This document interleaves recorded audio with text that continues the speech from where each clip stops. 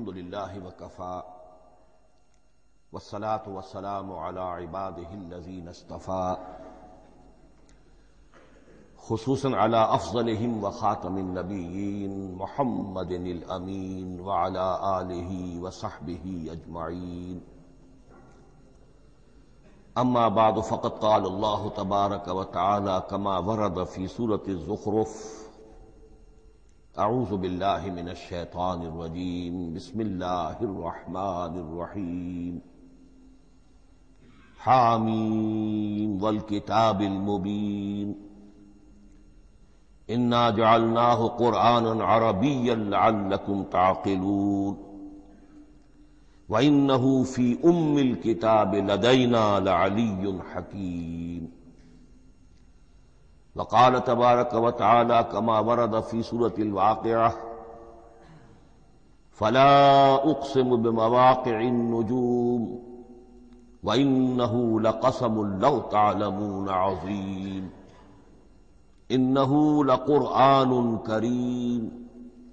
फ़ी किताबिन मकनून। ला यमस्सुहु इल्लल मुतहहरून तंजील मिन रब्बिल आलमीन। वक़ाल अज़्ज़ वजल कमा वरद फ़ी आखिर सूरत फज्र। बल हुवा क़ुरआनुम मजीद फ़ी लौहिन महफूज। सदक़ल्लाहुल अज़ीम। रब शहरी सदरी व यस्सिरली अमरी वाहलुल उक़दतम मिन लिसानी यफ़क़हू क़ौली।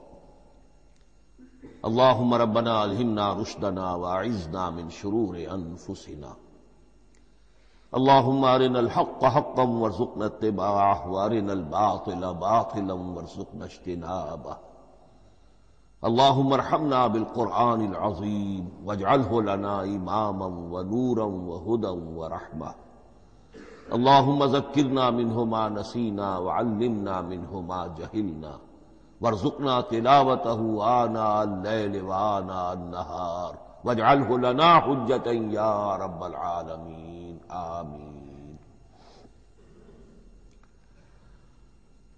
आज शाबान मुअज़्ज़म की अट्ठाईसवीं शब है। और हम माह रमज़ान मुबारक के दौरान नमाज़ तरावी के साथ दौर तर्जुमा कुरान की तमहीद के तौर पर, आज और कल।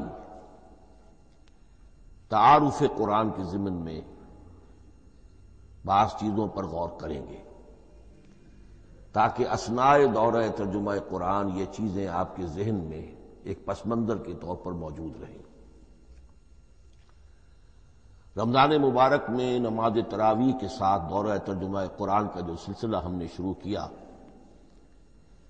अब उसे पंद्रह बरस से जायद हो चुके हैं। अल्हम्दुलिल्लाह कि इसका चर्चा अब वसी अरीज पैमाने पर हो चुका है। न सिर्फ़ अंदरून मुल्क, बैरून मुल्क भी। इस दौरान में खुद मैंने जहाँ तक मुझे याद पड़ता है, कम से कम छह मरतबा दौरा तर्जुमा कुरान की तकमील की शहादत हासिल की है। दो मरतबा इससे कबल कराची में तीन मरतबा लाहौर में, एक मरतबा मुल्तान में, एक मरतबा अबूजाबी में। और इस साल जो मैं अपनी अब ज़यीफ़ी और अपने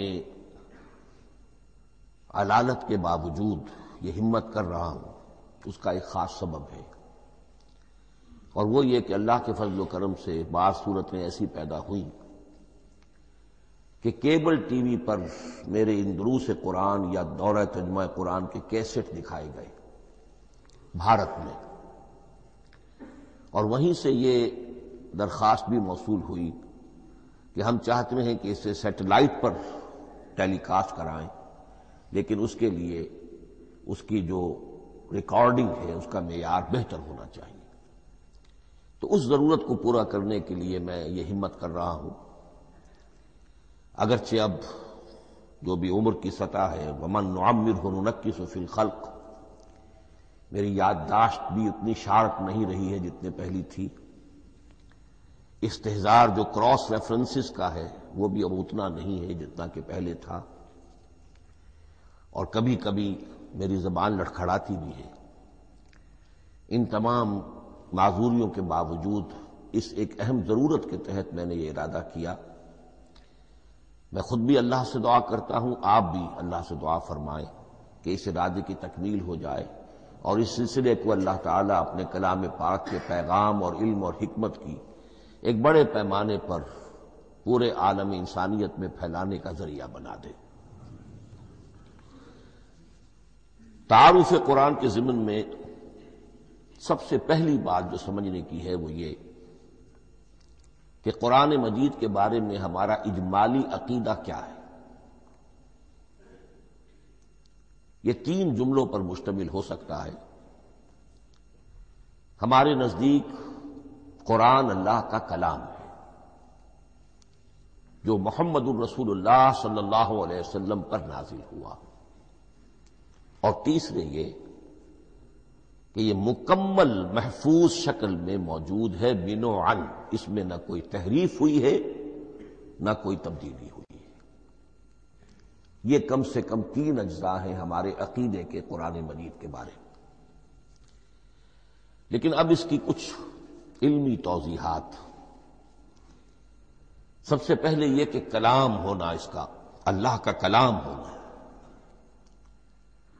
इसलिए कि आपके इल्म में है ये तौरात जो हज़रत मूसा सलाम को दी गई थी, वो लिखी हुई शक्ल में, पत्थर की तख्तियों पर लिखी हुई सूरत में दी गई थी। और कुरान मजीद की तंजील जो मोहम्मद रसूलुल्लाह सल्लल्लाहु पर हुई है, वो एक मुख्तलिफ़ सूरत में हुई। है इसको कुरान मजीद खुद अल्लाह का कलाम करार देता है। चुनाचे सूरह तौबा की आयत है, आयत नंबर छह। व इन अहद मिनल मुशरकी नस्तजार का फाजिर हो हत्ता यसमा कलाम अल्लाह सुब अबलिग हो मना जब हिजरत के नवे साल आखिरी वार्निंग दी गई थी मुशरकिन अरब को कि अब सिर्फ़ तुम्हें चंद महीने की मोहलत दी जा रही है इस दौरान में आखिरी फैसला कर लो इस्लाम कबूल करना है या नहीं इसलिए कि उसके बाद मुशरकिन अरब के लिए कोई रियायत नहीं होगी। जो लोग इस्लाम कबूल नहीं करेंगे, उन्हें तहे तेख कर दिया जाएगा। फैजन सलखल अशरुलहरम फ़क्तुलमशरकिन है सो वजद तो जब यह मोहलत खत्म हो जाए तो इन मुशरकिन का कत्लेआम करो। इसकी वजाहत फिर जब सूरह तोबा हम पढ़ेंगे तो उस वक्त, इस वक्त यकीन जेन में कुछ इश्काल आएँगे। लेकिन इस वक्त इस जिमन में तफसीली बहस का मौका नहीं।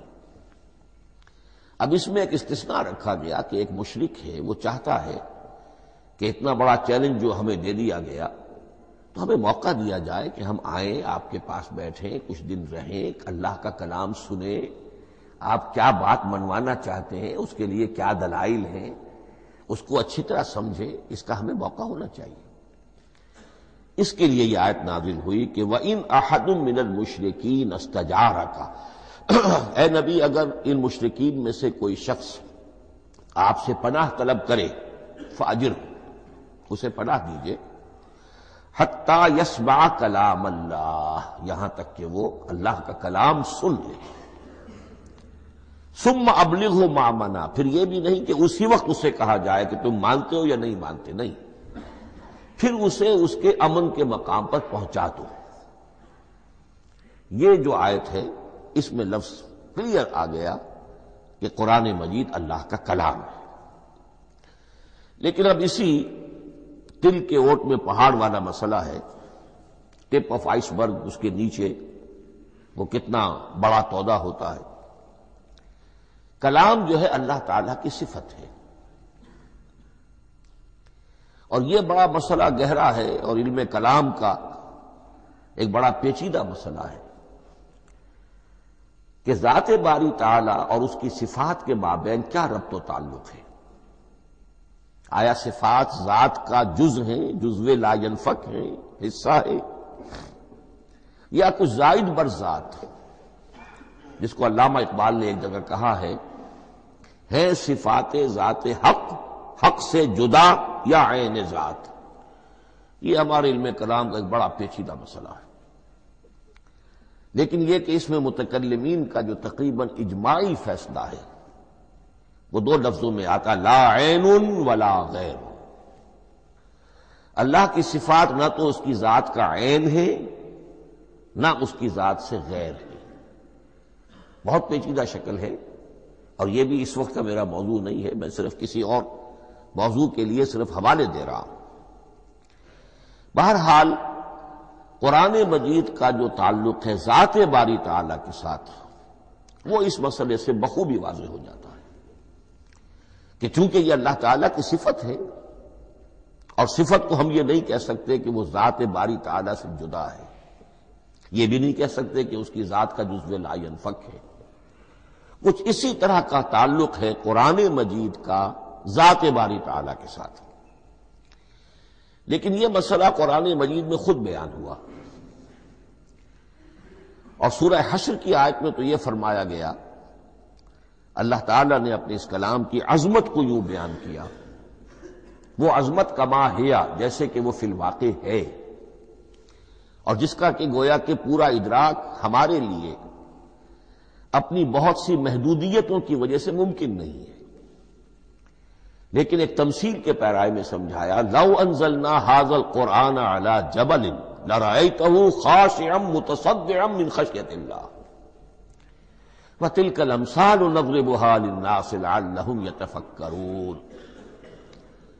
अगर हमने इस कुरान को किसी पहाड़ पर उतार दिया होता तो तुम देखते कि वो दब जाता और फट जाता अल्लाह के खौफ से और ये मिसालें हैं जो हम लोगों के लिए बयान करते हैं ताकि वो गौर करें तदब्बर करें समझें माला युद्र को कुल्लू ला युद्र को कुल्लू अगरचे बतमाम कमाल अजमत कुरान का फहम उनके लिए मुमकिन नहीं है।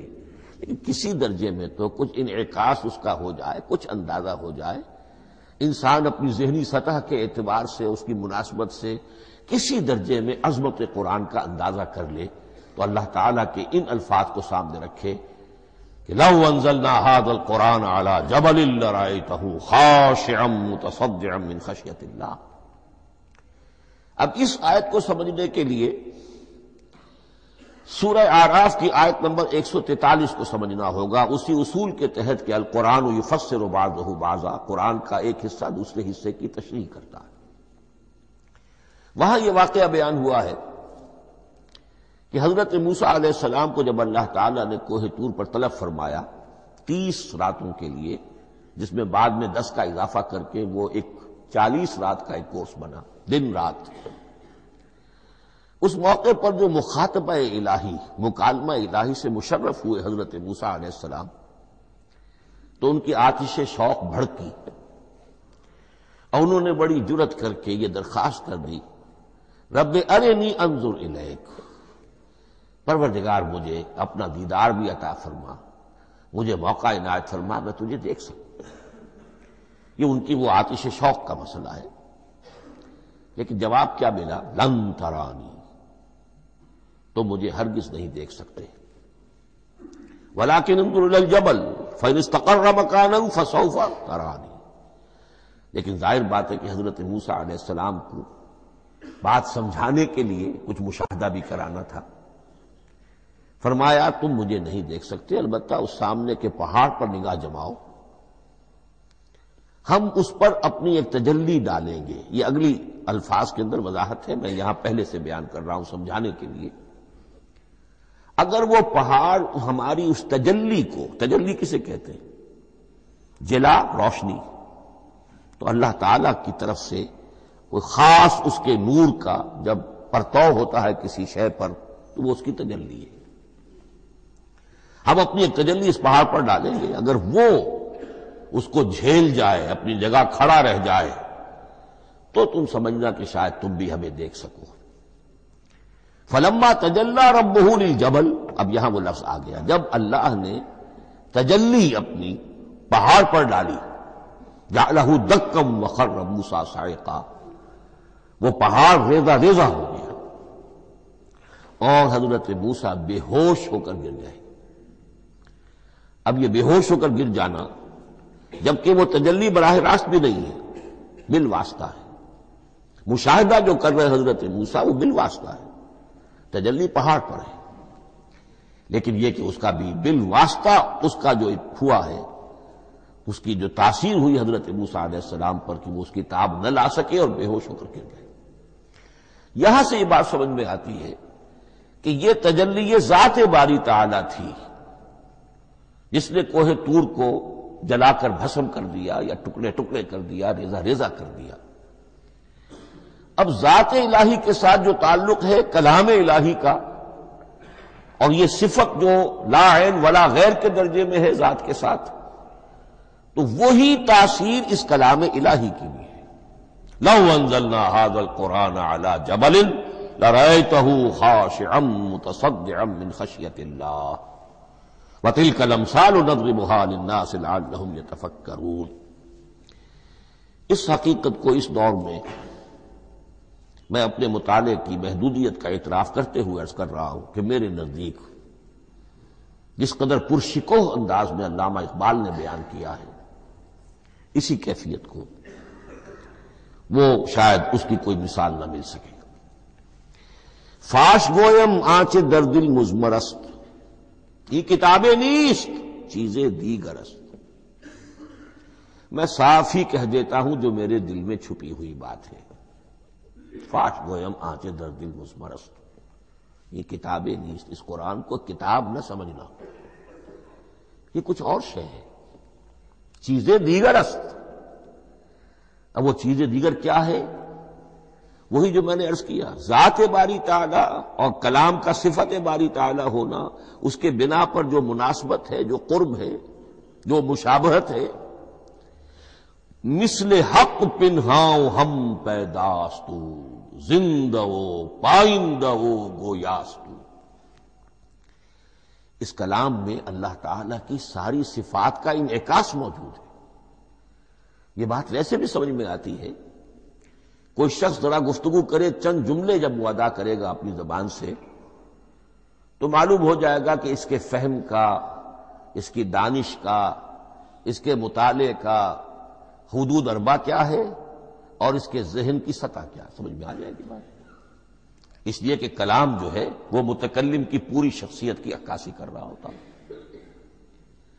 तांतबाजी राग पाया, चंद जुमले किसी ने कहा, पता चल गया कि ये किस सतह के आदमी है? इलमी एतबार से, मालूमती एतबार से, तहजीबी एतबार से, कल्चर्ड है या नहीं है, ये सारी बातें चंद जुमलों में वादे हो जाएँगी। तो अल्लाह ताला की भी जुमला सिफात का अक्स इस कुरान में मौजूद है। उनमें से जिनमें से, जिन चंद चीज़ों का ज़िक्र अल्लामा ने शेर में किया, वो जो सूरह हदीद की आयत है, होवल अव्वल वल आखिर व ज़ाहिर वल बातिन। अल्लाह अजाहिर भी है, अल बातिन भी है। इतना ज़ाहिर के उससे ज़्यादा ज़ाहिर कोई शय नहीं और इतना बातिन के उससे ज़्यादा छुपी हुई कोई शय नहीं। इसीलिए हुजूर से जो मनकूल है अल्फाज कि परवरदिगार, अंत ज़ाहिर हो, फलेसा फौ का कशई व अंतल बातिन हो, फलेसा दूना कशई यही कैफियत कुरान की है। मिसले हक पिन्हाओ हम पैदास्तू। पिन्हा भी है, ज़ाहिर भी है। जैसे जाते बारी ताला। और जैसे अल्लाह ताला की शान है, जो आयतुल कुर्सी के शुरू में आई अलहयुल कयूम मिसल हक पिन्हाओ हम पैदास्तू ज़िंदा हो, पाइंदा हो गोयास्तू ये कुरान जो है, अल्लाह ताला की सिफात का एक अक्स अपने अंदर रखता है। इससे जरा आगे चलिए। कलाम के बारे में, अब कलाम इलाही ज़ाहिर बात है कि सिफत है और सिफत कदीम है। अल्लाह की सिफात हादिस नहीं है। अल्लाह की जात भी कदीम हमेशा से है। और उसका, उसकी सिफात भी कदीम हमेशा से और ये जो कलाम इलाही है, ज़ाहिर बात है कि ये जो हमारी जबान के हरूफ व असवात है, कलाम इलाही तो इनसे मुनजा है, मुबर्रा है, मावरा है, आला है, अरफा है। हमारी जबानों के हरूफ व असवात अल्फाबेट्स जगह जगह तब्दील हो जाएँगे। अंग्रेज़ी के कुछ और हैं, उर्दू के कुछ और हैं, अरबी के कुछ और हैं। कलाम इलाही, इन तमाम से आगा, अरफा मुनजा और मुबर्रा है। ये कलाम इलाही, जब भी नाजिल हुआ है, ज़ाहिर बात है, हज़रत मूसा पर अगर किताब उतारी गई, वो भी इल्म इलाही से आई। लेकिन वो इब्रानी जबान में आई। हज़रत ईसा सलाम पर इंजील उतारी गई। हम यकीन से नहीं कह सकते, दो में से किसी एक जबान में उतारी गई होगी या इब्रानी होगी। इसलिए कि शाम के जिस इलाके में, फिलिस्तीन के जिस इलाके में उनकी पैदाइश हुई और जहाँ वो दावत व तबलीग के लिए घूमते रहे, उसके अवाम की जबान थी आरामी और खवास की जबान थी इब्रानी हेब्रू तो या तो वो भी तौरात की तरह इब्रानी ही में नाजिल हुई थी या आरामी में होगी, लेकिन अब कोई नुस्खा ना हैब्रू का, कोई कदीम नुस्खा दुनिया में मौजूद है, ना आरामी का। जो सबसे पुराना नुस्खा मिलता है इंजील का, वो उसका तर्जुमा है। लैटिन जबान का तर्जुमा है या ग्रीक तर्जुमा है, असल कोई नहीं। बहरहाल जब वो कलाम इलाही मोहम्मद रसूलुल्लाह पर नाजिल हुआ अब इसने हरूफ असवात का वो जामा पहना कि जो अरबी जबान के हैं। यही वजह देखिए मैंने जो आयत सूरह हामीम ये जो सिलसिला सोवर है, उसमें से सूरह जुखरुफ की आयत जो मैंने आपको सुनाई, हामीम वल किताब मुबीन, इन्ना जाल ना हो कुरान अरबी अल्लाकुम ताकिलून। हमने बना दिया है अपने इस कलाम को कुरान अरबी। इसको अरबी हरूफ वसवाद का जामा हमने पहना दिया है। इन्ना जालना हो कुरान अरबी लकुम ताकिलून, कि चूँकि मुखातब अव्वल जो कौम थी उम्मीन उनकी जबान अरबी थी लाकुम ताकिलून, ताकि तुम उसको समझ सको। अब इससे आगे चलिए। असल कुरान कुरान मजीद के तीन मकामात से मालूम होता है। असल कुरान अल्लाह के पास है। यह कुरान जो हमारे पास है मुसफ़ है मुसफ़ उस्मान रज़ी अल्लाह तन ये उस कुरान की मुसद्दका नकल है। असल कुरान कहाँ है? एक जगह फरमाया, बल हुआ कुरान मजीद फ़ी लौह महफूज। लौह महफूज में है। असल कुरान वहाँ है। इसी तरीके से, इसी सूरज जुखरफ की अगली आयत क्या है? हमने इसे अरबी कुरान बनाकर उतारा। लेकिन असल कुरान क्या है? वह इन नहूफी उम्मिल किताब लदैना लाली हकीम। हकीकत में तो यह उम्मुल किताब में है जो हमारे पास है। और अली है, बहुत बुलंद। हकीम, बड़ी हिकमत वाला या मोहकम, मज़बूत। हकीम के दोनों मानिए इस्तेहकाम भी इसी है, काफ और बीम के माध्यम से बना है। किसी शय का पुख्ता हो जाना, मज़बूत हो जाना। और अक्ल की पुख्तगी, वो हिकमत है, वो दानाई है। इस एतबार से नोट कीजिए, असल कुरान कहाँ है? लौह महफूज में। असल कुरान कहाँ है? उम्मिल किताब में। इसी को कहा गया है एक और मकाम पर। फ़ी सोहफिन मुकर्रमतिन मरफूअतिन मुतहरतिन बेदी सफरतिन किरामिन बररा। ये कुरान, असल कुरान तो बड़े सहीफों में, उन सहीफों में है, उन सफात में है, उन औराक में है, जिसकी शान क्या है? मुकर्रमतुन इनकी इंतहाई ताजीम की जाती है। मुतहरतिन नहायत पाक सहीफे। फ़ी सोहफिन मुकर्रमतिन मरफूअतिन बुलंदो बाला मुतहरतिन बेदी सफरतिन किरामिन बरारा। उन फरिश्तों के हाथ में जो बहुत बाइज्जत, बहुत ऊँचे दर्जे के, उनके हाथों में है, वो लोग हैं कि जब इसकी जिनकी तहवील में है ये कलाम पाक। फ़ी सोहफिन मुकर्रमतिन मरफूअतिन मुतहरतिन बेदी सफरतिन किरामिन बरारा। अब इसी को बयान किया है सूरह वाकया में। फलाउसब बे मवाक नजूम तो नहीं मैं कसम खाता हूँ। सितारों के डूबने की जगह की वही नहू लौ तालमून लकसम अजीम। वही नहू लकसम लौ और अगर तुम जान सकते तो ये बहुत बड़ी कसम है जो हमने खाई है। बहुत बड़ी गवाही है जो हमने पेश की है। अब तदरीजन इसका इंकशाफ हो रहा है। या आज जो तस्वुर है ब्लैक होल्स का, उससे कुछ कुछ अंदाज़ा होता है। ये सितारे कहाँ डूब जाते हैं? बड़े बड़े सितारे, नसीम मनसिया हो जाते हैं। सितारे नहीं पूरी पूरी गैलेक्सीज उसमें गुम हो जाते हैं। वो मकबरे हैं बड़ी बड़ी गैलेक्सीज के। फला उसम बे मवाक इन नजूम व इन नहूल कसम तालमून अजीम इन नहूल कुरान करीम। ये कुरान है बहुत बाइज्जत।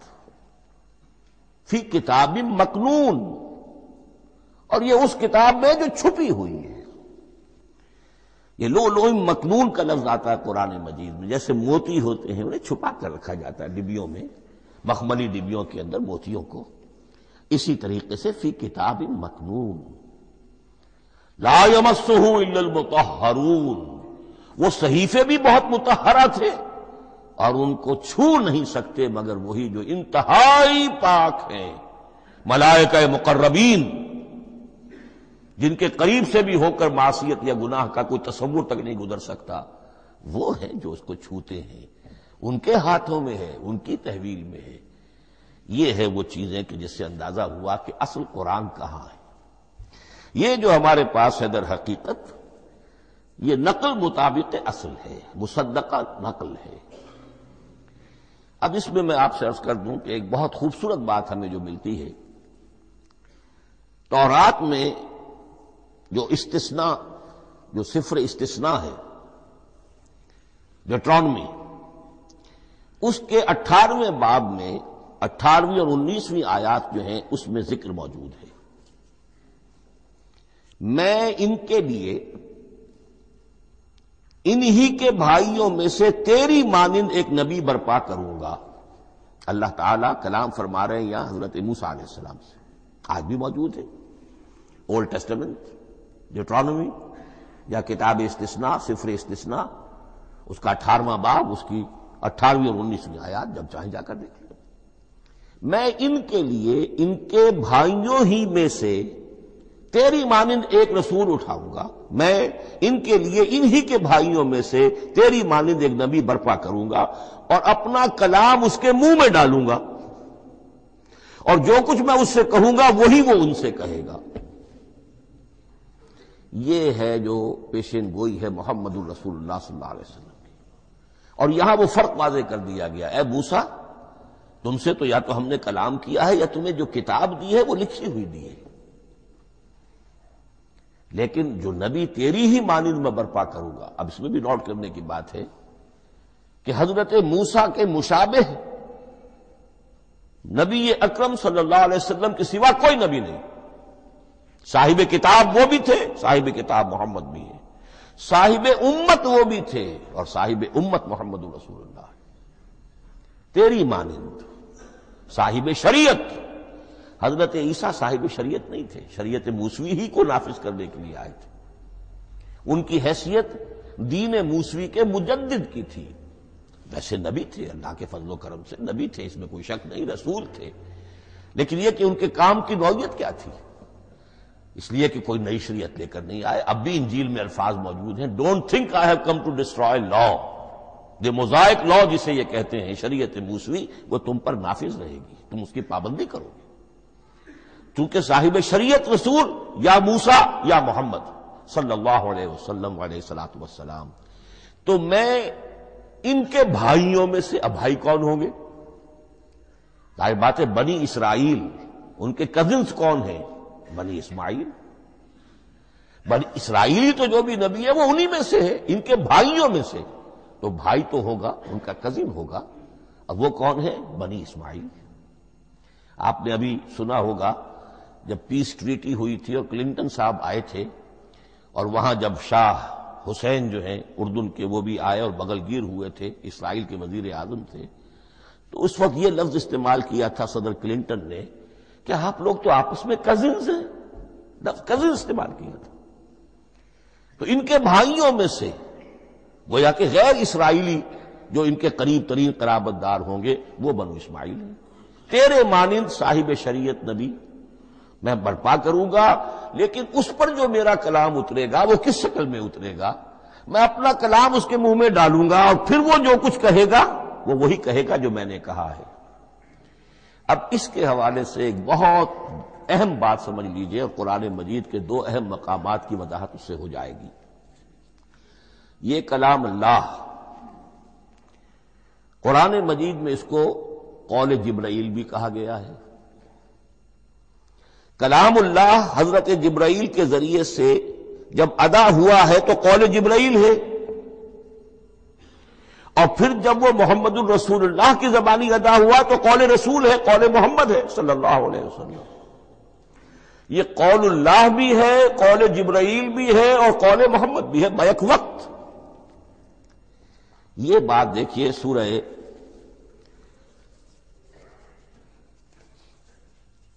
इज़्समान फजरत, उसमें ये सूरत, जो अल्फाज आए हैं इन नहूल कौल रसूल इन करीब सूरत तकवीर इज़ शम्स कुव्वरत इन नहूल रसूल इन करीम जी कुत इन नजिल अर्श मकीन मुताइन सम्मामीन वमा साहिब कुम मजनूल ये यहाँ पर हज़रत जब्राइल का ज़िक्र हो रहा है वमा हुआ बेकौल शैतान रजीम मोहम्मद तक इस कुरान को लाने वाला तो वो बुलंद पाए का फरिश्ता है ये कोई शैतान रजीम नहीं है इसलिए कि मक्के वालों ने कह दिया था, हो सकता है कोई बदरूह आई हो मोहम्मद पर।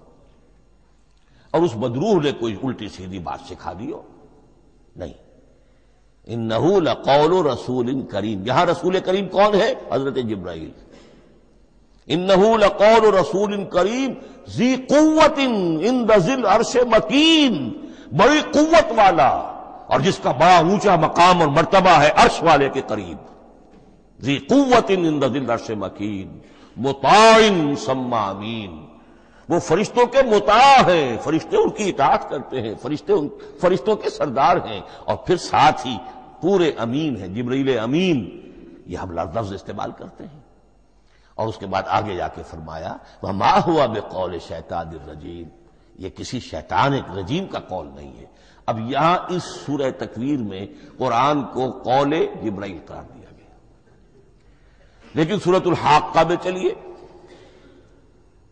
उसके आखिर में आता है इन नहूल कौल रसूल इन करीम।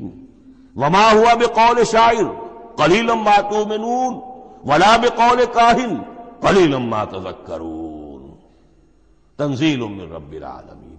यहाँ अब रसूल करीम से मुराद मोहम्मद वसल्लम। ये किसी शायर का कौल नहीं है, किसी काहिन का कौल नहीं है। यानी जिसके जबानी ये कुरान लोगों के सामने आ रहा है। जिब्राइल का कौल होकर तो मोहम्मद पर नाजिल हुआ सल्लल्लाहु अलैहि वसल्लम। लेकिन अब लोगों के सामने वो कौल मोहम्मद बनकर आ रहा इन नहूल कौल रसूल करीम, वमा हुआ बेकौल शायर कलीलम मातो बिनून वला बेकौल काहिन, कलीलम मा तजक्करून। तंजीलम रब्बिल आलमीन। तो कुरान मजीद कलामुल्लाह है। फिर वो कौल जिब्राइल बना। जब जिब्राइल ने आकर मोहम्मद को सुनाया। और फिर वो कौल मोहम्मद बना। जब मोहम्मद की जबान मुबारक से लोगों ने उसे सुना। अहले अरब ने सुना और फिर वो बात फैलती चली गई। अब आखिरी बहस इस मौजू पर जो है वो ये है, कलाम इलाही की तीन सूरतें हैं जो कुरान मजीद में, सूरह शूरा की आयत नंबर इक्यावन में बयान हुई है। वमा कान बशर युकल महुल्लाह किसी बशर, किसी इंसान की यह हैसियत नहीं है, मकाम नहीं है कि अल्लाह उससे कलाम करे। ये नहीं कहा कि अल्लाह के लिए मुमकिन नहीं है। नहीं नहीं, अल्लाह के लिए तो हर शय मुमकिन है। लेकिन किसी बशर का यह मकाम नहीं है कि अल्लाह उससे कलाम करे। मखलूक है, बशर है। माँ काना बशर अन युकल महल्लाह इल्ला, अब तीन शक्लें आई। इल्ला वाहियन, औ मिन वराए हिजाबिन, औ युरसला रसूलन, फयूहिया बेजदही मा यशा, इन्नहू अलीयुल हकीम। तीन सूरतें हैं कलाम इलाही की। या तो बराह रास्त अल्लाह वही करता है, बगैर किसी फरिश्ते की, दरमियान में ज़रिया बनाए हुए। इसी का नाम इल्हाम है। इसी का नाम तहदीस है। ये गैर नबी के साथ भी होता है। हजूर ने फरमाया, हर नबी की उम्मत में मुहद्दस होते थे, जिनसे अल्लाह कलाम करता था। और मेरी उम्मत का मुहद्दस उमर है रज़ी अल्लाह तला मुहद्दस, मुहद्दिस नहीं, मुहद्दिस के मानी है इल्म हदीस का माहिर। इमाम बुखारी मुहद्दिस है, इमाम मुस्लिम मुहद्दिस है। मुहद्दस तहदीस से मफूल बना, जिससे बात की जाती है, मुहद्दस। अल्लाह बात करता है, अल्लाह दिल में डाल देता है, इल्का हो जाता है, इल्हाम हो जाता है, कोई फरिश्ता दरमियान में नहीं, बराह रास्त। दूसरी शक्ल कलाम की क्या है? आओ मिमराए हिजाब। ये हमारे इल्म की हद तक सिर्फ़ हज़रत मूसा सलाम की शान है। इस्तिसनाई शान वकल्लमल्लाह मूसा तकलीमा। और मूसा के साथ तो अल्लाह ने कलाम फरमाया, जैसे कि कलाम किया जाता है। फ़र्क क्या था? मैं वराय हिजाब। पर्दा था, देख नहीं सकते थे। तभी तो उनकी वो आतिशी शौक भड़की थी। क्या कयामत है कि चिलमन से लगे बैठे हैं, साफ़ छुटते भी नहीं, सामने आते भी नहीं।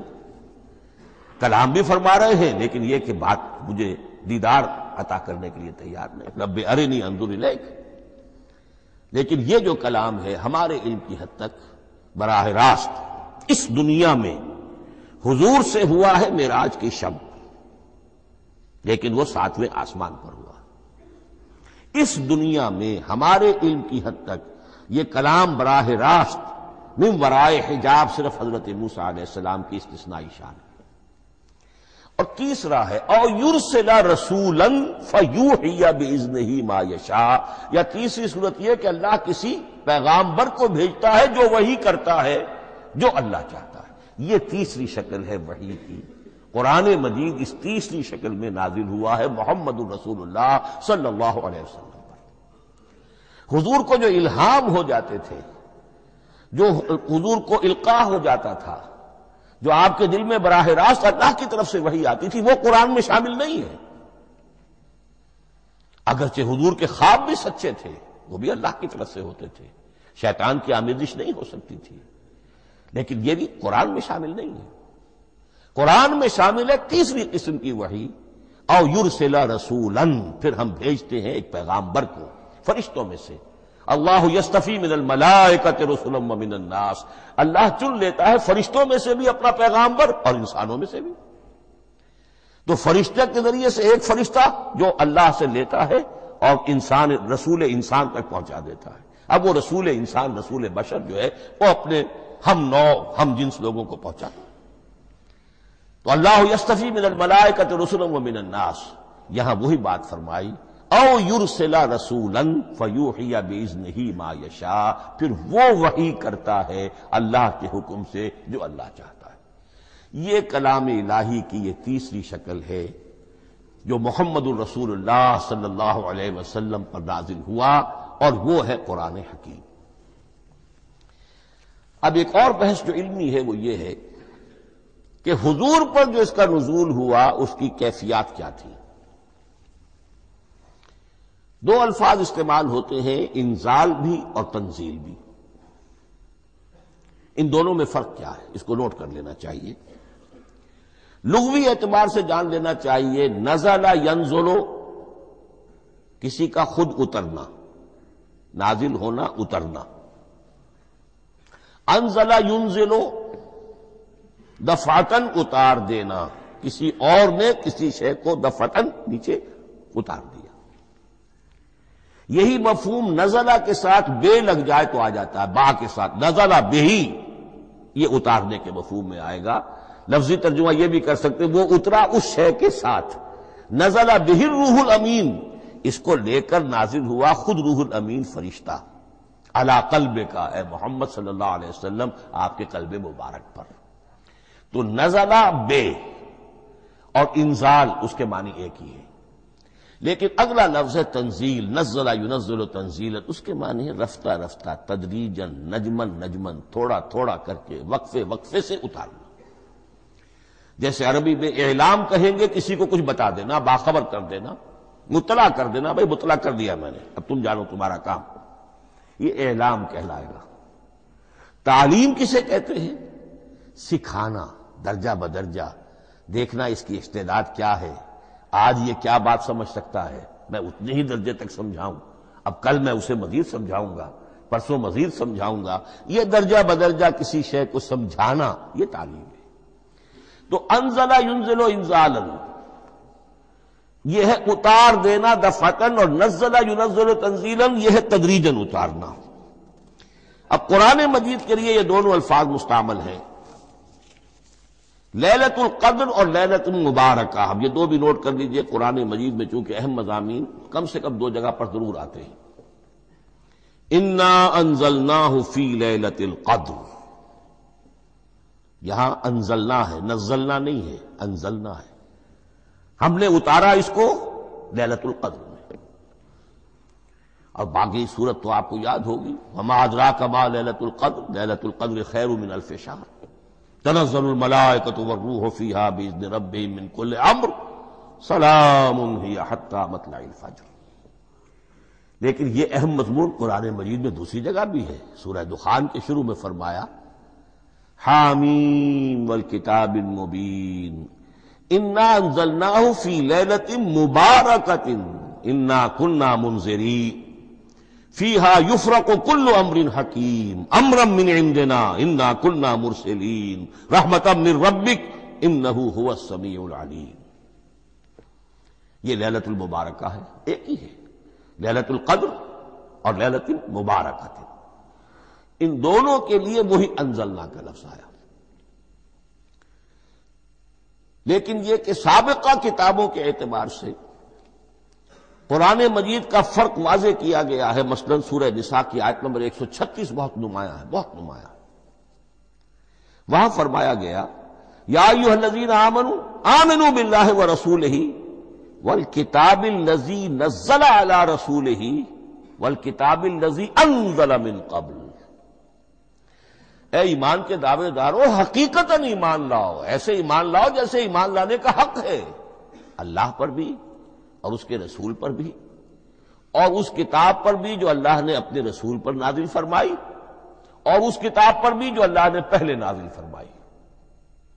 लेकिन नाजिल के लिए यहाँ आया, हुजूर के लिए, बल किताब नजी नजल आला रसूल, तंजील की शक्ल में। और तौरात के लिए वह किताब लजी अनजला मिन कबल, वो तो दफतन वाहिदन लिखी हुई तख्तियों की शक्ल में हज़रत मूसा को दे दी गई थी। तो या यूहल्लजीन आमनु आमिनु बिल्लाह व रसूल वल किताब लजी नजल आला रसूल वल किताब लजी अनजला मिन कबल। ये जो तंजील हुई है हुजूर पर, यानी लैलतुल कद्र में जो रमज़ान मुबारक में है, पूरा कुरान लौह महफूज से, किताब मकनून से, उम्मिल किताब से नकल करके उतार दिया गया समाए दुनिया तक। पहला आसमान जिसे हम कहते हैं समाए दुनिया, वो आसमान जो करीब तरीन है दुनिया के। वहाँ से अब ये दर्जा बदर्जा थोड़ा थोड़ा चंद आयतें, चंद सूरतें, फिर आयतें, फिर सूरतें, ये नाजिल हुआ मोहम्मद रसूलुल्लाह पर। गोया कि पहला मरहला इंजाल का है। पूरा कुरान, लोहे महफूज, या किताब मकनून, या उम्मिल किताब से नकल करके उतार दिया गया समाए दुनिया तक। यह है अनजला जिलो इंजालन। इन्ना अनजल्ला फ़िलतिल कद्र, इन्ना अनजल्ला फ़िलती मुबारक। लेकिन मोहम्मद रसूलुल्लाह पर यह नाजिल हुआ, अब थोड़ा थोड़ा, नजमन नजमन, दर्जा बदर्जा तदरीजन, यह है तंजील। इस तंजील की हिकमत कुरान मजीद में बयान हुई है, और इस एतबार से कि अहले अरब ने, अहले मक्का ने एतराज़ किया था। कि यह पूरा कुरान क्यों नहीं, मोहम्मद एक ही मरतबा पेश कर देते सल्लल्लाहु अलैहि वसल्लम। इसमें जो चीज़ मुजमर थी, वो ये थी कि चूँकि यह हकीकत में अल्लाह का कलाम नहीं है यह मोहम्मद का अपना कलाम है तो कोई शायर दुनिया में ऐसा नहीं है जो एकदम अपना पूरा दीवान दे दे। वो तो सारी उम्र में थोड़ा थोड़ा आज गज़ल कही, कल कसीदा कहा, परसों कुछ और कहा, फिर वो जमा होता है तो वो दीवान बनता है। इसी तरीके से तो ये कर रहे हैं। अगर ये अल्लाह का कलाम होता तो बैक वक्त आ जाता। ये तो जरा मेहनत करते हैं, कुछ उसके अंदर उसको अपनी मेहनत से कोशिश करके कुछ मौजू करते हैं, कलमात, अल्फाज, और इस तरीके से रफ्ता रफ्ता लेकर आ रहे हैं। इसलिए उनका एतराज़ नकल हुआ है ये। वकाल नजीर लौला नुजिला कुरान जुमलतम वाहिदतन। उन्होंने क्यों नहीं उतरा ये कुरान पूरा का पूरा एक ही बार? ये एतराज़ था। इस एतराज़ के जो जवाब दिए गए हैं, वो नोट कीजिए कि लोगों के हक में यह मुफीद है, ये पूरे कुरान का तहमुल एक वक्त में कर नहीं सकते। ये पूरा कुरान तो एक ही मरतबा, अगर पहाड़ पर भी उतार दिया जाता तो वो फट जाता, दब जाता। वह कुरान फ़र्क ना हो ले तकराहू से अला मुक्सिन व नजल ना हो तंजीला सूरह बन इसराइल, आयत एक सौ छह। ये वो कुरान है जिसने हमें, हमने जिसको टुकड़े टुकड़े करके फ़र्क ना हो, फ़र्क तोड़ देना, थोड़ा थोड़ा करके हमने कर दिया। ले तकराहू अन्ना से अलामुक्सिन ताकि आप उसे पढ़कर सुनाए लोगों को वक्फे वक्फे से। ताकि वो सहार सके, संभाल सके, बर्दाश्त कर सके। वह नजल ना हो तंजीला, इसी वजह से हमने इसे नाजिल किया है। बतर्ज तंजील बतर्ज इंजाल नहीं बतर्ज तंजील। व कुरान फ़र्क ना हो ले तक रहू अलन्ना से अला मुक्सिन व नजल ना हो तंजीला। एक हिकमत तो हो गई आवाम के लिए। एक हिकमत खुद रसूल के लिए सल्लल्लाहु कजाल का नुसब तब ही फुआदा का वरतल ना हो तरतीला अगला नोट कीजिए, कल्ब मोहम्मदी के लिए भी इस पूरे कलाम का एकदम सहार आसान काम नहीं था। ये इसलिए ये उसी सूरह अल फुरकान की जो आयत का मैंने एक हिस्सा आपको सुना दिया था, उसी के अंदर उसका जवाब आया है उसी आयत में। आयत नंबर बत्तीस है ये सूरह फुरकान की। वकाल नजीन कफरू लौला नजल कुरान जुमलतन वाहिदतन। ये एतराज़ है। जवाब क्या है? कजाल कल नुसबता ही फुआदा का हमने ये इसलिए किया है नबी के इसके ज़रिए से आपके दिल को ठहराओ और जमाओ अता करें। ये एकदम इसका उतर जाना। इंदा सनुल्की अलय का कौलन सकीला। बड़ा भार, बड़ा भारी बोझ है। नाकाबिल बर्दाश्त है। ताकि रफ्ता रफ्ता आपका दिल उसके अंदर तकवीत बढ़ती चली जाए। उसके अंदर और उसका तहमुल जो है, उसकी सलाहियत बढ़ती चली जाए। कजाल का नुसबत भी फुआद का वरत्तल ना हो तरतीला। इसीलिए हमने थोड़ा थोड़ा करके नाजिल किया है। वला यातून के मसल्ला जेना कबिल हक वाहसन तफसीरा। साथ ही फरमाया कि ये लोग जो भी एतराज़ करेंगे, हम उसका जवाब भी और बेहतरीन तावील भी आपको दे देंगे।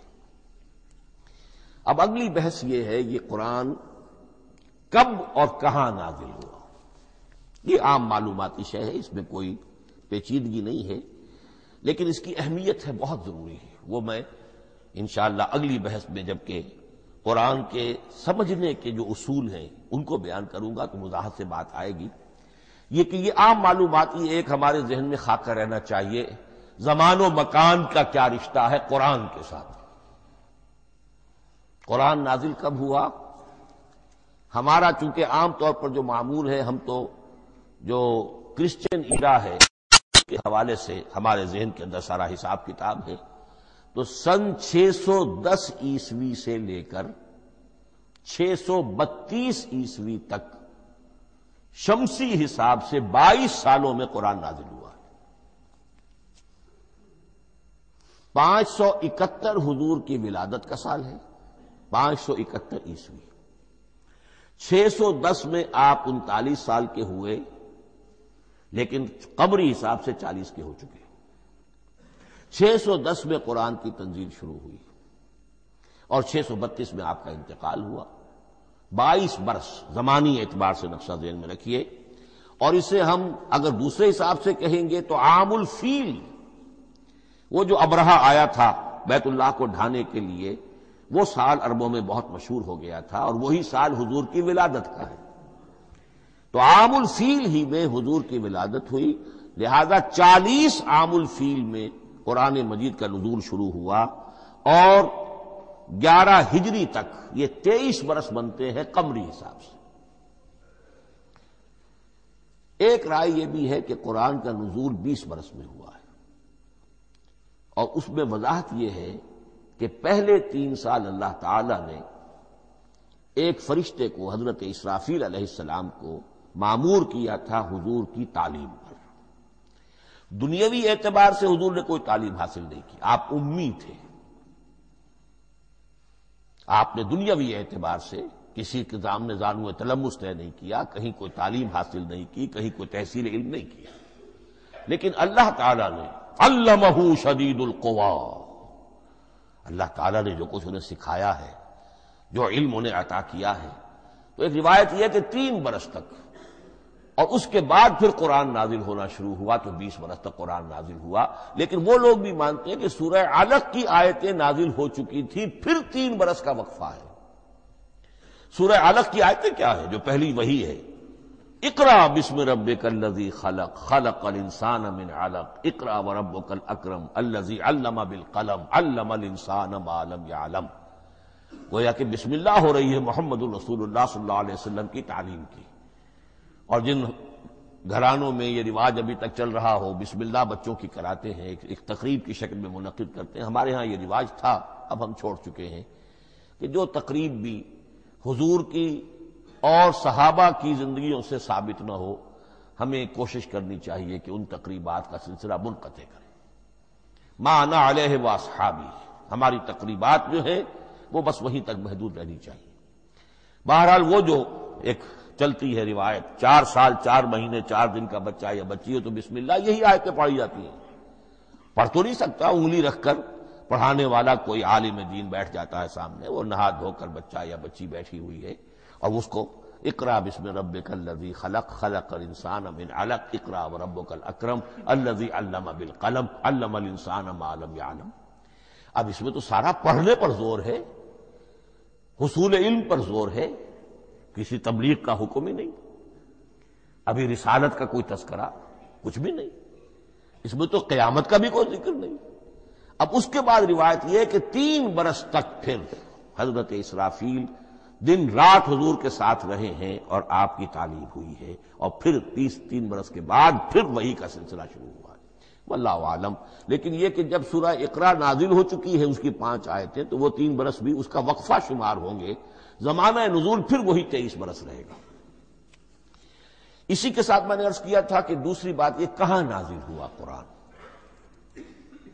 एक लफ्ज में तो यह समझ लीजिए यह हिजाज में नाजिल हुआ।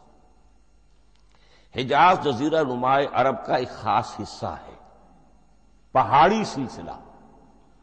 यूँ समझ लीजिए, इसको जहन में रखिए। जजीरा नुमाए अरब जो है, वो शिमाल से जनूब की तरफ़ चौड़ा होता जाता है। शिमाल में शाम और इराक की तरफ़ जाता है तो वो तंग है, फिर नीचे चौड़ा हो रहा है। इसका जो मगरबी साहिल है, जिस पर जद्दा की बंदरगाह भी है, यम्बो की भी है, इसके कहीं वो एक मैदान शुरू होता है, साहिल से कहीं वो बहुत मुख्तसर है, कहीं खासा चौड़ा है, इसको कहते हैं तेहामा। फिर एक पहाड़ी सिलसिला है, इसको कहते हैं हिजाज। ये पहाड़ी सिलसिला जो है, इसके बाद जो है वो नजद कहलाता है, वो सतह मुर्तफा है प्लेचो तो ये तीन हिस्से हैं जजीरा नुमा अरब के जोग्राफियाई एतबार से। और हिजाज कहते भी हैं पर्दे को। हाजिजन, पर्दा जो दो चीज़ों के दरमियान हाइल हो जाए। तो यूँ समझिए कि ये फ्लैट है नज्द का, और ये फ्लैट है मैदान, ये है तेहामा का, और दरमियान में ये पहाड़ी सिलसिला खड़ा हुआ है। तो ये गोया कि इन दोनों को जुदा कर रहा है। ये हिजाज है। इस हिजाज ही का शहर मक्का है, इस हिजाज ही का शहर मदीना है इस हिजाज ही का शहर ताइफ है। इस हिजाज ही की आखिरी टिप समझ लीजिए तबूक है। तो हुजूर सल्लल्लाहु अलैहि वसल्लम की पूरी ज़िंदगी आगाज़ वही के बाद से लेकर वो इसी इलाके के अंदर। पहले आप मक्के में थे, कुरान मजीद की जो सूरतें उस दौर में नाजिल हुई, आयतें नाजिल वो मक्कियात कहलाती फिर आपने हिजरत की, और हिजरत करके जब आप जा रहे थे, उस दौरान में भी कुछ कुरान नाजिल हुआ, असनाए हिजरत में। फिर आप मदीने तशरीफ़ फरमा हुए। अब हम कहते हैं मदनी कुरान, लेकिन मदनी कुरान सारा मदीने में नाजिल नहीं हुआ। आप कभी जा रहे किसी मुहिम पर, किसी जंग के लिए, कस्बा बदर के लिए आ गए हैं तो वहाँ जो आयातें नाजिल हो रही हैं, वो मदीने में तो नहीं हो रही। ब्रॉड तकसीम तो यही है, मक्की मदनी। हिजरत से कबल जो कुछ नाजिल हुआ वो मक्की हिजरत के बाद जो कुछ नाजिल हुआ, वो मदनी। लेकिन सिर्फ़ मदनी कहना सही नहीं है। असनाए सफ़र तबूक, इतना तवील सफ़र है आपका। इसके दौरान आते जाते कुरान नाजिल होता रहा। लेकिन यह बात नोट कर लीजिए कि पूरा कुरान हिजाज ही में नाजिल हुआ है। ये तमाम शहर, ये तमाम इलाका हिजाज कहलाता है। एक और बहस जो हम इसी अपनी पहली नशस्त में मुकम्मल इंशाला कर लेंगे वो है महफूजियत कुरान की बहस। मैंने अर्ज़ किया था कि तीन चीज़ों पर हमारा अकीदा मुश्तमिल है। यह अल्लाह का कलाम है, नंबर एक। नादिल हुआ मोहम्मद रसूलुल्लाह पर सल्लल्लाहु इसीलिए हमने कलाम से मुतालिक कुछ मबाहिस, इल्मी, गहराई में उतर कर वो समझे।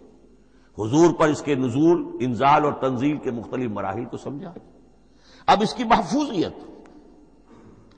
महफूजियत के एतबार से वाक़ यह है कि वाहिद किताब है पूरी दुनिया में, वाहिद किताब, जिसके बारे में दुश्मन भी तस्लीम करते हैं, चाहे वो उसे अल्लाह का कलाम ना माने। लेकिन ये मानते हैं कि बैन ही वो शय जो मोहम्मद ने अपनी उम्मत को दी थी, आज भी उम्मत के पास सही मौजूद है। ज़ाहिर बात है, अगर तो उसे अल्लाह का कलाम माने, वही माने, तब तो मुसलमान ही हो गए। वो तो यही कहते हैं कि बहरहाल मोहम्मद ने चाहे खुद लिखा, तसनीफ किया, जो भी कुछ किया, इसको छोड़ दीजिए। लेकिन जो शय मोहम्मद ने अपनी उम्मत को दी थी, सल्लल्लाहु अलैहि वसल्लम, बैन ही वो शय मौजूद है। तो ये महफूजियत कुरान की जो है, जबकि कोई और दुनिया की किताब इसकी मुद्दई ही नहीं। तौरात वालों का सिरे से यह दावा ही नहीं है। वो तौरात तो गुम हो गई थी नबुकट नज़र के हमले के वक्त। उसके बाद से दुनिया में तौरात का वजूद नहीं है। और फिर सौ बरस के बाद अपनी याददाश्तों से मुरतब की है ये तौरात जो आज हमारे सामने इंजील का जैसा कि मैं अर्ज़ कर चुका हूँ, कोई नुस्खा जो है ना इब्रानी का मौजूद है, ना आरामी जबान का है। दुनिया की कोई किताब नहीं जो दावा कर सकती हो।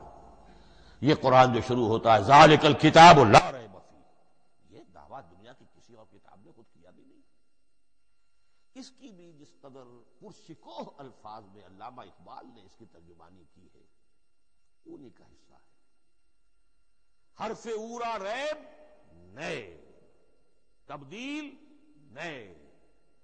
आयाश, शर्मिंदे, तावील, नए। इस कुरान के किसी हर्फ में कोई तहरीफ हो जाना? नहीं नहीं। इम्कान ही नहीं, कति तौर किसी लफ्ज का बदल दिया जाना? नहीं नहीं। हरफ उरा रहे नए। तब्दील, नए। इसमें किसी का शक शक पर मबनी होना नहीं। आयश, शर्मिंद ताबील, नए। इसकी आयत कोई भी ऐसी नहीं जिसे तरोड़ा बरोड़ा जा सके। ये अपनी हिफाजत खुद करती है। ला याती हिल बातिलो मिम्बैन यदय है बला बिन खल्फ ही हाबी बसैदा की आयत नंबर बयालीस। इस पर बातिल हमला आवर हो ही नहीं सकता। इन्ना नहन नजल ज़िक्र वन्ना हम ही ने यह अजिक्र नाजिल किया है और हम ही उसकी हिफाजत करने वाले जहाँ तक पहले टुकड़े का ताल्लुक इस आयत मुबारक का, उसमें तो तौरात भी आएगी। तौरात किसने नाजिल की? अल्लाह ने नाजिल की। इंजील किसने नाजिल की? अल्लाह ने नाजिल की। इन्ना अंजल तौरात फीहा हुदम वनूर ये सूरह मायदा में अल्फाज है। इंजील के बारे में भी हमने इंजील अता की, ईसा को, फ़ी है उदम वनूर लेकिन यह कि इन्ना नहन नजल न ज़िक्र, इसको इस कदर ताकीद के साथ कहकर वह इन्ना लहू हाफिजून और हम ही उसके मुहाफिज हैं। लेकिन इस मौजू पर अहम तरीन मकाम जो है कुरान मजीद का, वो सूरह कयामा की ये आयात है।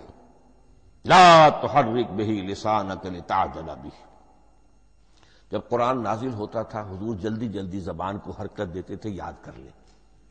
मुबादा कहीं भूल जाओ मुबादा कोई लफ्ज जो है, तब्दील हो जाए।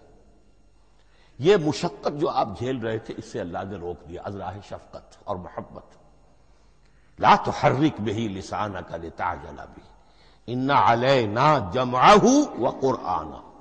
हमारे जिम्मे है इसको जमा कर देना। आपके सीने में जमा कर देंगे इसको। और सिर्फ़ जमा करना नहीं, कुरान, तरतीब। कुरान होता है, पढ़ा जाता तरतीब से। यानी तरतीब नजूली, ये बाद में हमारी अलहदा बहस भी आएगी कि तरतीब नजूली और है, तरतीब मुसफ और है। ये तरतीब भी हम करवा देंगे, ये भी हमारे जिम्मे है। इन अलह ना जमाऊ व कुराना फैजा करा ना हो फतब कुराना। फिर जब हम जिस तरतीब से फिर आपको पढ़ाएँ, उसी तरतीब की पैरवी कीजिए। ये जो है कि कुरान का जमा और तदवीन, ये भी अल्लाह ताला ने उसकी जमानत ली, और उसकी तरतीब भी अल्लाह ताला ही की जमानत से है। इस एतबार से महफूजियत कुरान के ये दोनों पहलू हमारे सामने रहने चाहिए। बारक अल्लाह वलकुम फिल कुरान अजीम व नफ़ानी वैया कुम बिल आयात